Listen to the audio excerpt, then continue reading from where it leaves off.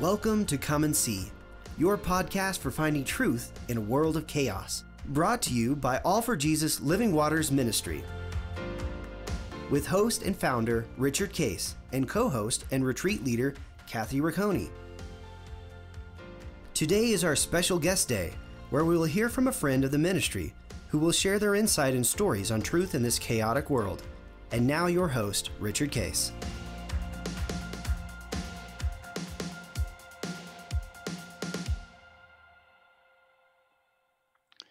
Well, good morning, everybody. Uh, this is Guest Thursday, and uh, we have a very special guest, uh, Heath and Rebecca Cardy, uh, from uh, multiple locations around the world, uh, and it's good to have them. They they were guests before to share their story, so we're going to get an, an an update from you guys. So welcome, Heath and Rebecca. See you guys And, again. It's, It's great, great- to see you Great guys to have you. Where where are you located this week? We are in Arvada, Colorado. So Ah. we live here. We're probably in town about half the time. Yeah. And uh, so good to be home. Kids here, small group, everything is perfect. So Yeah, share a little bit about um, you know the fact that you you do have a you know different uh, locations and tell us again about your family. So just kind of bring everybody up to date so they we remind everybody kind of a little bit of your uh, background. Sure. We um, so we currently we live in Arvada, Colorado, but we also uh, live in about Iceland. Um, Iceland about one third of the year. I guess we'll talk into some how we how we got there and what that looks like and what what God's been doing and leading out there. Um, on the personal side, we've got we've got four kids. Two are married, and um, I, actually, I think Colton and Alicia were on the show just uh, Yeah, yeah, they right? were They, were, just a joy to have Mm, on too. yeah, they they were- were, they it were. was so been fun to watch their faith. Rich, you've just been an awesome um, uh, coach and, and just helping them through abiding and listening and processing. Um, second son and daughter live here in Denver. Um, they're doing well. She um, she works for Riverside Baptist Church here, and, and he works downtown Denver in finance. Uh, third son's actually getting married here uh, August seventh, so we're excited about that. I'm not sure when So this exciting. will be about that time. So very excited to have him. Third one married, and fourth one's also doing well. So younger, younger two are at uh, Liberty University. They've been there for a few years, and um, no one's here in the house, which is actually part of the story too. So Where's been a your? Uh, go ahead, Rebecca. Oh, yeah, this has been a really fun season for me because uh, growing up, we just had boys and they were all boy and every, everything boy.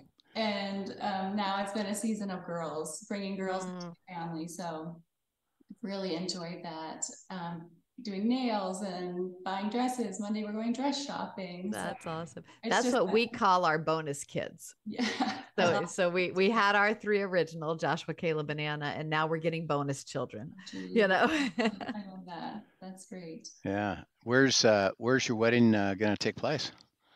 Up in Evergreen. It's in a barn. It's called Ah. the barn at Evergreen Memorial Park. Oh yeah, neat. Oh, that'll be fun. And uh, are they uh, are they going to go off on a honeymoon at all, or? They are. They're going to Kauai.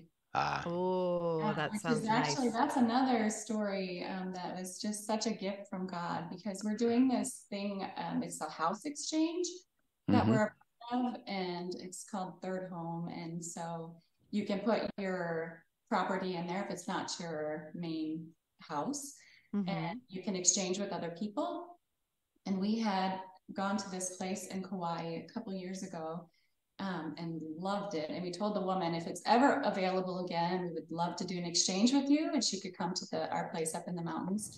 And um, we didn't hear anything, didn't hear anything, and then she texted and said the place is open August. 8th, which is the day after the wedding. Oh, that's We thought, we'd perfect. go, but then, oh, it probably would be nice to offer this. Is probably a gift. It's open for a week, the day after the wedding. So Uh, hasn't been for a There. year. and and the kids didn't invite you to join them for that. I know all the brothers said I. Yeah. The brothers want to crash the party.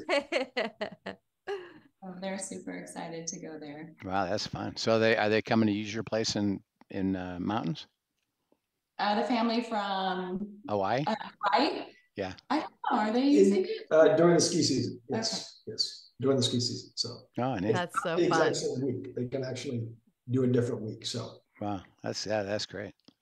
Oh, beautiful. Um, well, as you uh, you know, as you've been walking with God and, and particularly learning what it means to discern God's will, um, we we just did a leader retreat uh, where we were together. We were all together in Tuscany, and uh, Heath and uh, Rebecca shared uh, a story about about their house that we were we were actually um, right in the middle of it Mhm. and we prayed about it and, and asked God about it uh, together with you. And then you understood a few things, and then it's been a change since. So why don't you walk us through, you know, the whole thing from the very beginning of how you even came to be thinking about, you know, selling the this uh, property, uh, and then what was happening, and then ultimately what what has happened. So just kind of walk us through that story of how you discerned, you know, and processed God's will.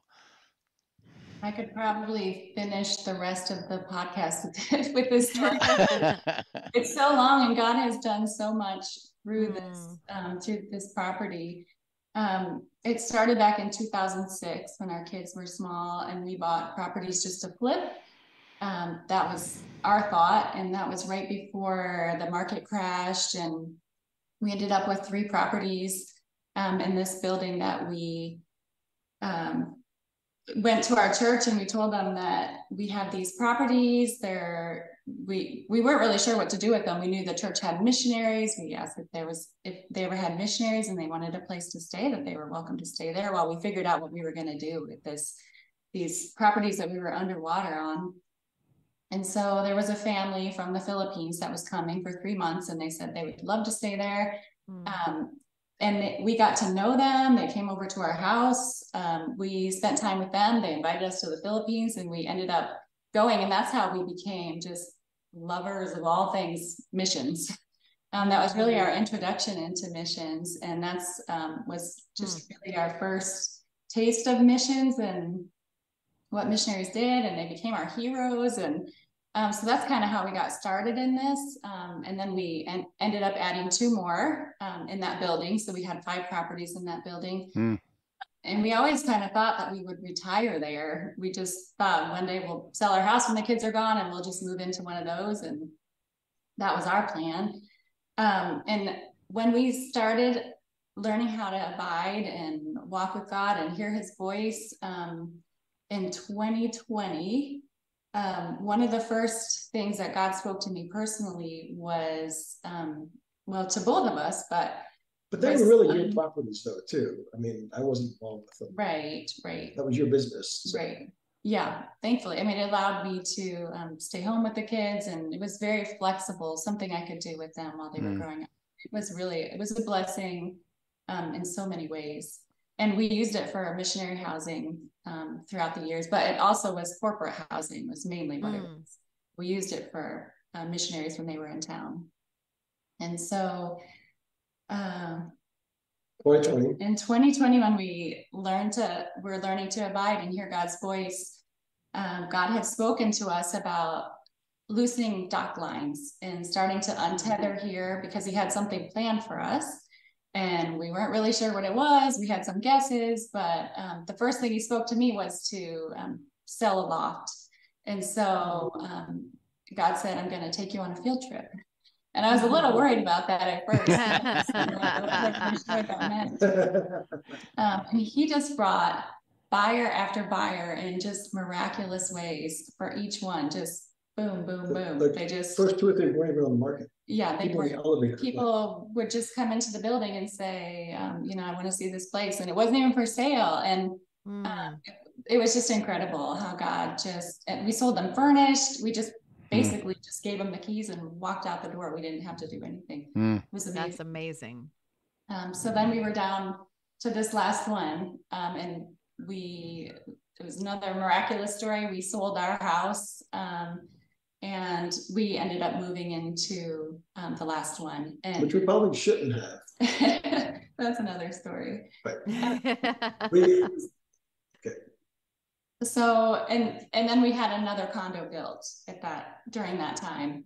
And so now we're in the process of selling the final, the final unit there. Um, and and yeah, when we were in Italy, we we had been under contract, I think probably three times at that point, and they just kept falling through.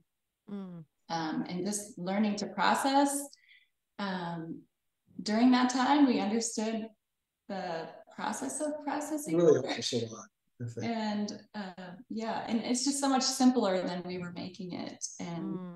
um, so we are under contract again, and we're set to close on the day of the wedding. Wow. So, That's amazing. Yeah. and as as it um, as it was falling through, I know, and you know, and it doesn't happen.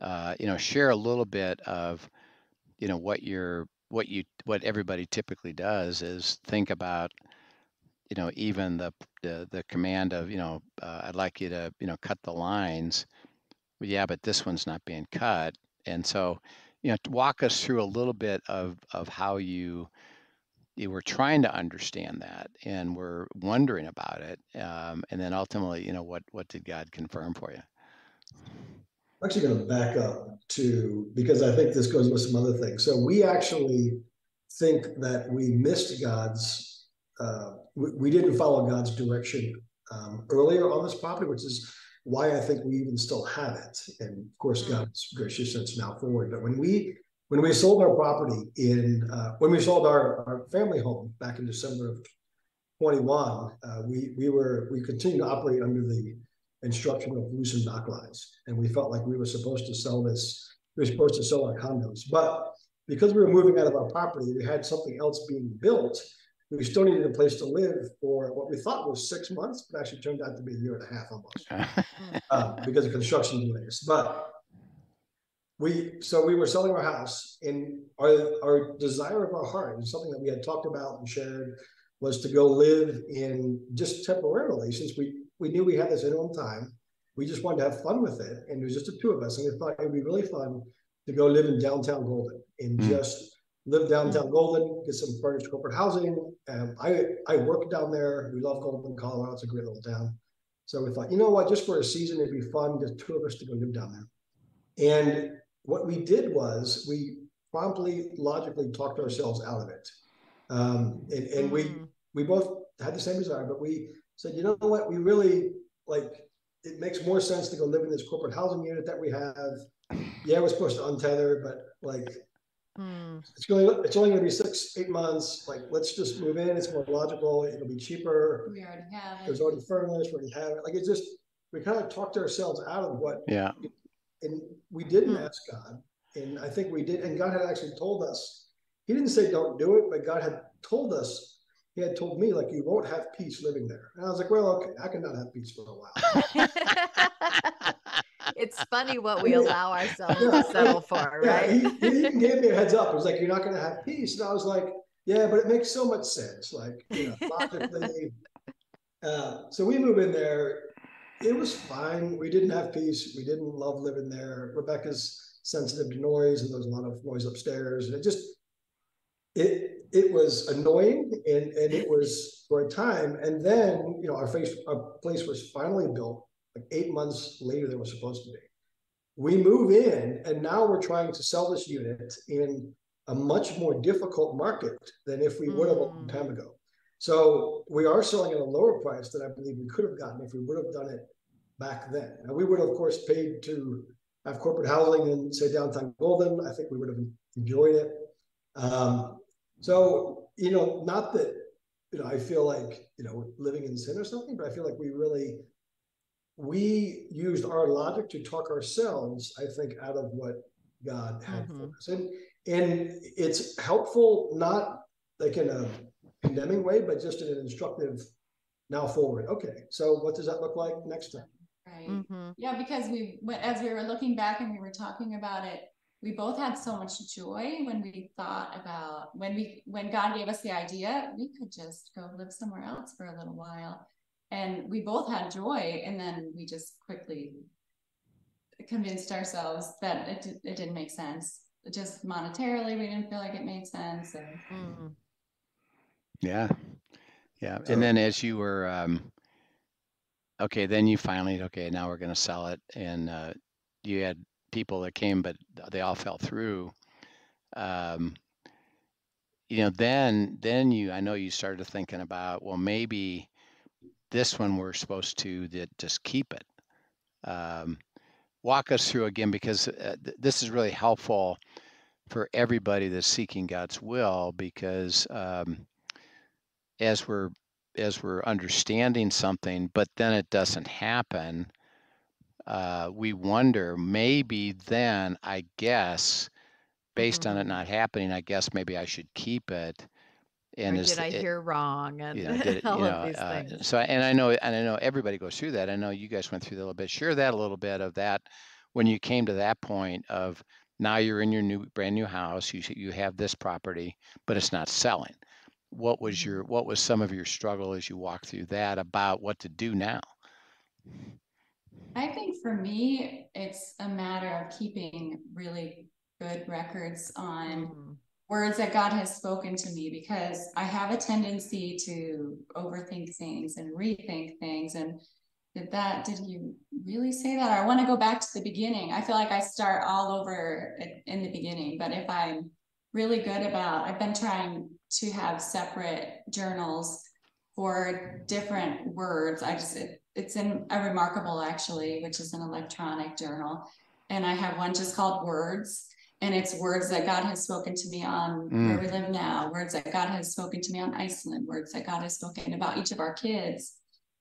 And it's been really helpful for me to just go back and read all of those words and see and just be reminded and just rehearse the things that God has said because then I don't start to talk myself out of it or rethink things or um, question things. And so that's been super helpful for me. Hmm. So just going back to that and re- being reminded that God did tell us to um, loosen our dock lines and to untether and uh, just to read through those things was really helpful for me and and to know too that god's working both sides of it that he's bringing the right buyer In Tuscany, so we were processing this with you in Tuscany, and I think we, we had an offer that was quite low from a, from a buyer.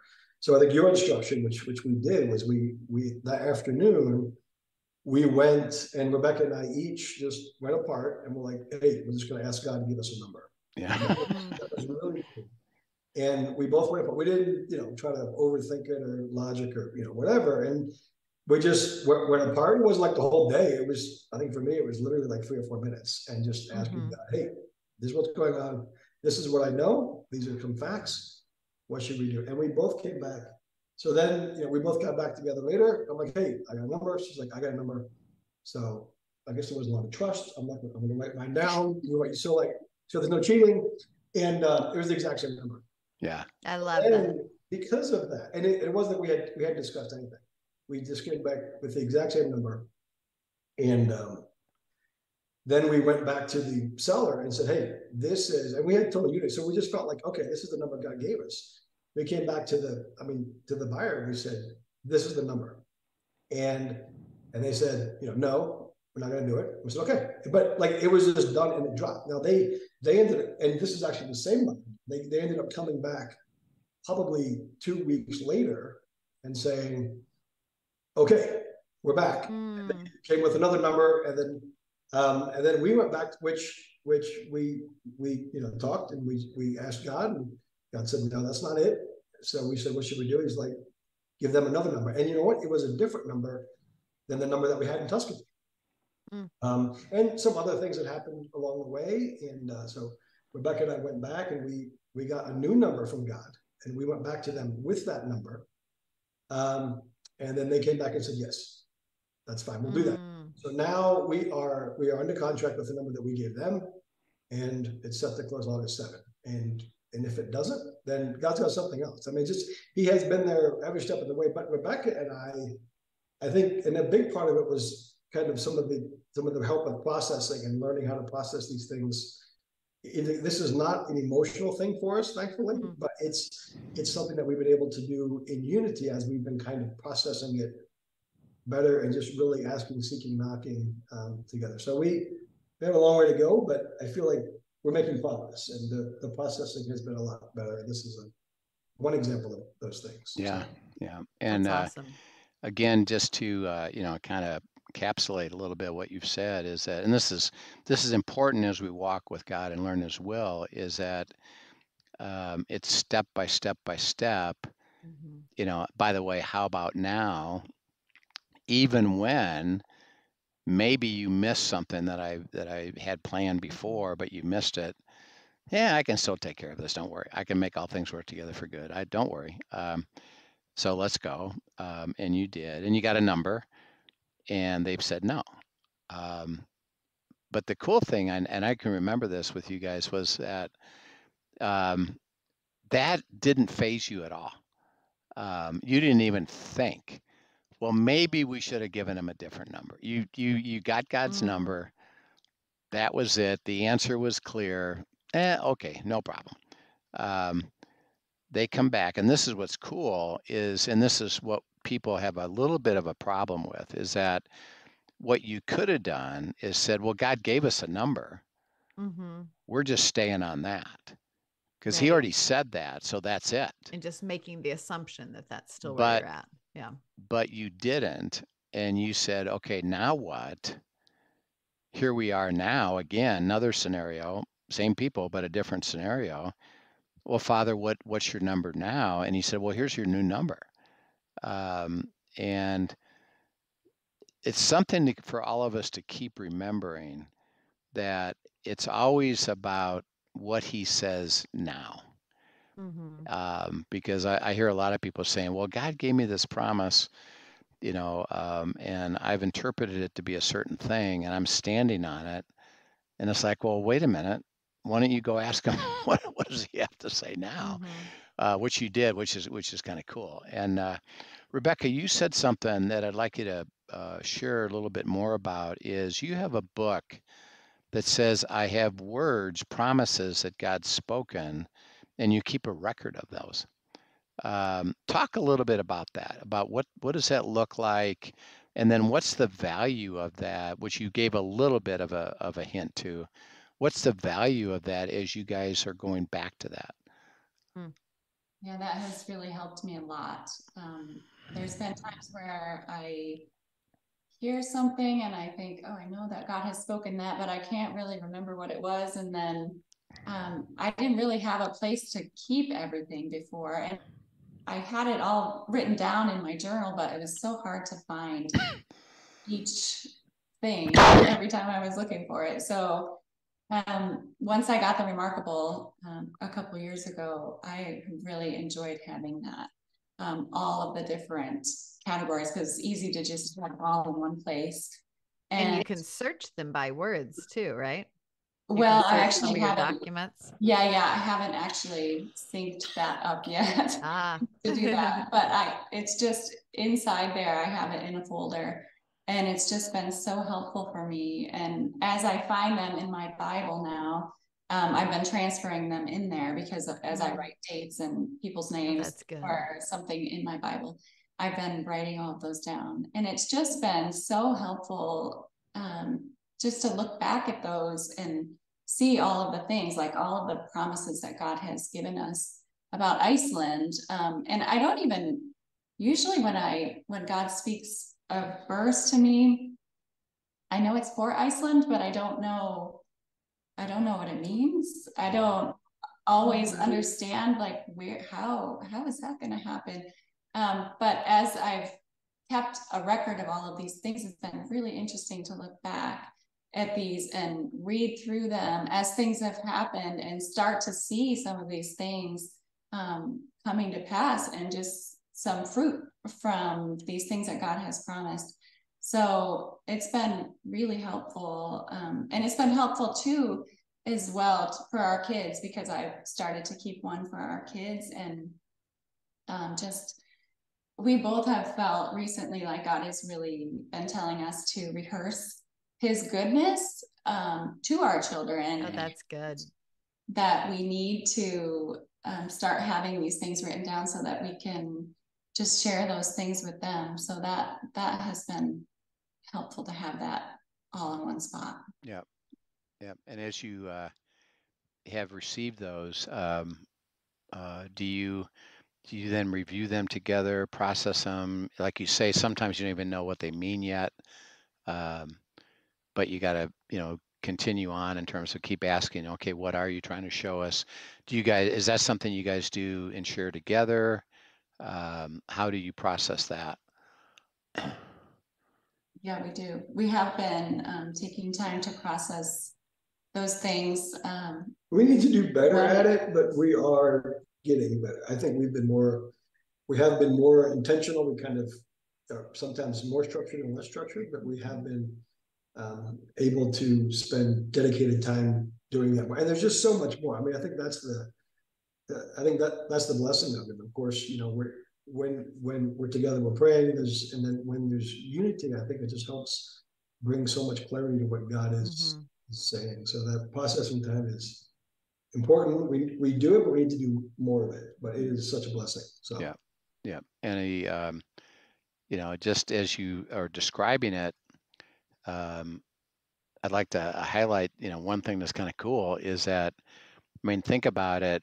Um, when you write that down, on what basis are you able to write it down? Well, you actually heard it. Mhm. you know, you heard something, and the cool thing, and this is this is a, the wonderful thing I think about God's will. Um, and usually, I think it happens a lot this way because you know sometimes we're we are saying, you know, what do you have to say about this specific thing, and a promise comes, but a lot of times it's pay attention. I'm going to say something to you, and you don't even uh, understand it yet. Uh, Mhm. but you got to write it down.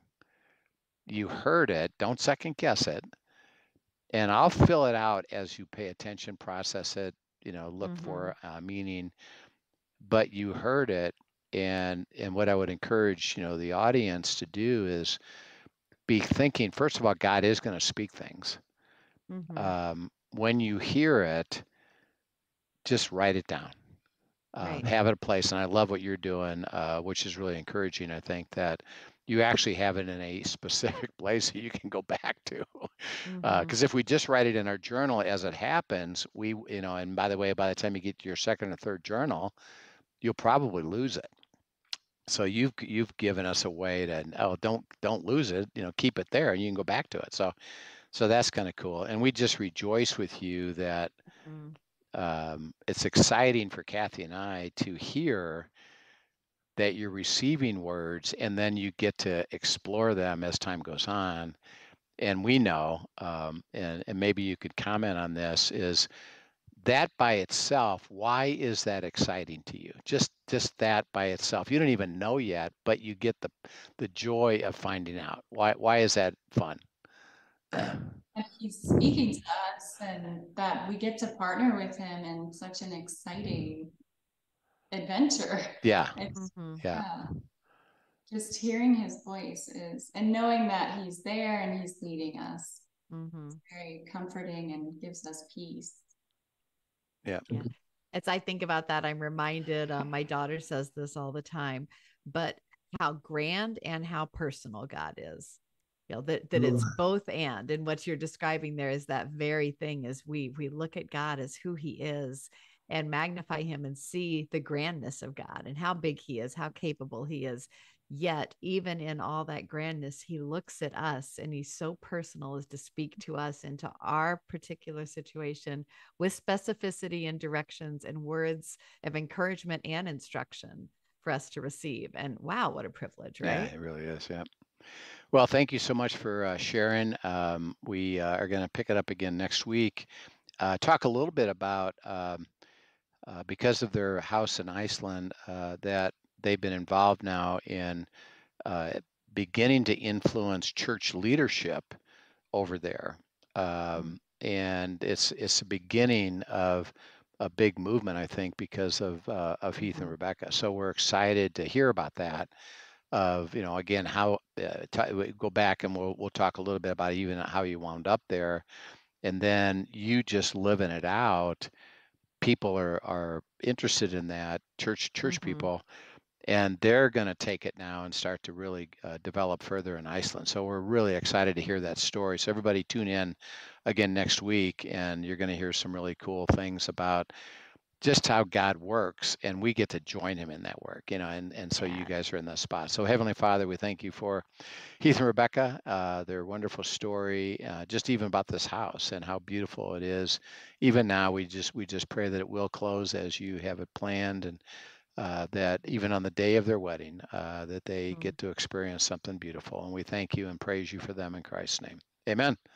Amen. Thank you so Bye, you much for joining us, guys. It's great to see you. And thank you, listeners, for joining us today. Be sure to tune in next week and continue to hear the story with Heath and Rebecca. And also join us tomorrow for End Times Friday. Look forward to seeing you then. Yep. We'll see you then. See you guys. Thank you for joining us for today's episode of Come and See, your podcast for truth in a world of chaos. Brought to you by All for Jesus Living Waters Ministry. Send us your questions and comments, and tune in tomorrow for more answers to your personal questions about living life in God's truth. Remember, God's will is best and none better. His truth brings peace in this world of chaos.